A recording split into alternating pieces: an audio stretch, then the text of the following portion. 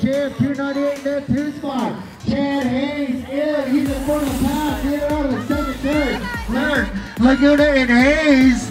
Here comes Laguna and Hayes. Right behind we got the 237 trying to make a charge for that third spot. Dom Williams taking over that three spot, coming across the. Laguna.